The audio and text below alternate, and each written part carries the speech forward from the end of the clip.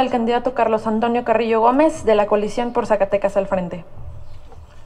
Amigas y amigos de Jalpa, en nuestras manos está el futuro de nuestro municipio. Hemos llegado a la recta final de esta campaña electoral. Los invito a que reflexionemos nuestro voto.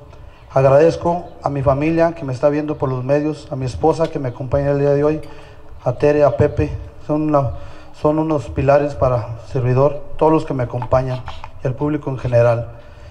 Hoy los, hoy los dos caminos para nuestro municipio son claros, que representan la continuidad, el progreso y el desarrollo de nuestro municipio, con cuentas claras, con más obras públicas, con más apoyo a los estudiantes, con más apoyo al deporte, con más apoyo a las empresas, con más apoyo a las mujeres y, y jóvenes emprendedores, con más apoyo al campo, con más cultura, turismo y con más salud, con más acciones y menos palabras o el otro que representa los gas gasolinazos, la impunidad, la privatización, la corrupción, la compra de votos y todas aquellas acciones que nos tienen atados y, no, y nos permiten que no desarrollemos como sociedad.